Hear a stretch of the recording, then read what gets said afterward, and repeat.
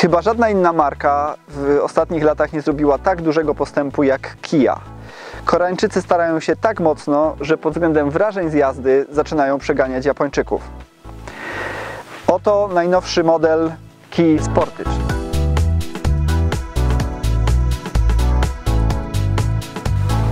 Polsce spośród wszystkich modeli Kia największą popularnością cieszy się Sportage.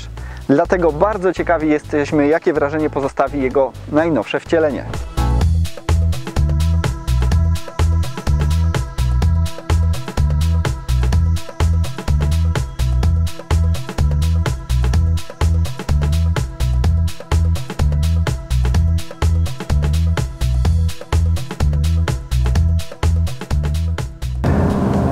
Kia Sportage to bliźniaczy model do Hyundai'a Tucsona. I podobnie jak w koncernie Volkswagena, mimo że samochody bazują na tej samej mechanice, różnią się pod względem charakteru.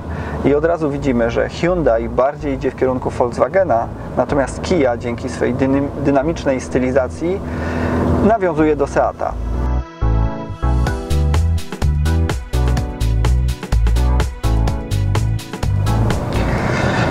Aktualnie podróżujemy wersją GT z najbogatszym wyposażeniem i z najmocniejszym silnikiem. Pod maską pracuje 2-litrowy diesel o mocy 185 koni mechanicznych, który zapewnia przyspieszenie do 100 km na godzinę na poziomie 9,5 sekundy i prędkość maksymalną na poziomie 200 km na godzinę. Tak naprawdę to jest optymalny silnik. W ofercie e, jest jeszcze w 136-konna wersja tego samego silnika i ona jak najbardziej będzie zdawała egzamin e, w tym samochodzie. Do wyboru mamy również silniki benzynowe e, o pojemności 1,6 litra wolnossące i 1,6 litra turbo doładowane. W przypadku wersji z napędem na przednie koła, czyli tych tańszych, ten silnik wolnossący być może poradzi sobie. Być może będziemy okazji jeszcze mieli sprawdzić, jak e, spisuje się ta druga wersja ale jeżeli chcemy zamówić wersję z napędem na 4 koła, jak najbardziej polecamy diesla, ewentualnie 1.6 turbo.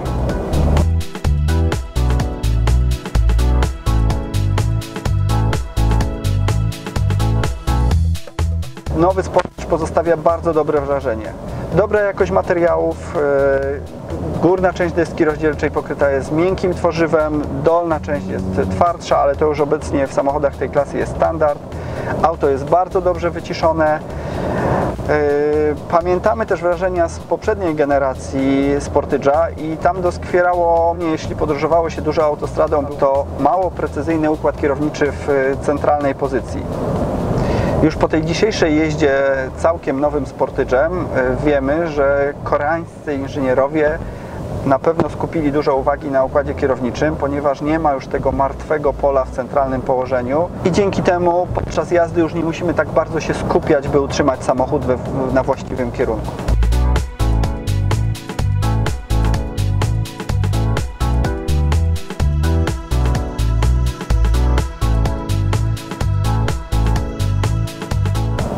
Mamy oczywiście nowy system multimedialny, nie mamy y, modnej ostatnio gałki, takiej centralnej gałki joysticka do sterowania multimediami, ale mamy dotykowy ekran, ekran jest duży, przejrzysty, łatwo z niego korzystać.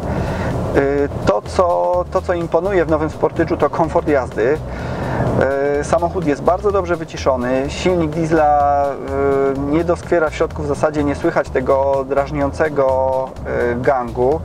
Także nawet z prędkościami autostradowymi można, podróżując z prędkościami autostradowymi, można swobodnie w tym samochodzie rozmawiać. Sportage w Polsce ze względu na cenę i, e, i to, co był w stanie do tej pory zaoferować, cieszył się bardzo dużym powodzeniem.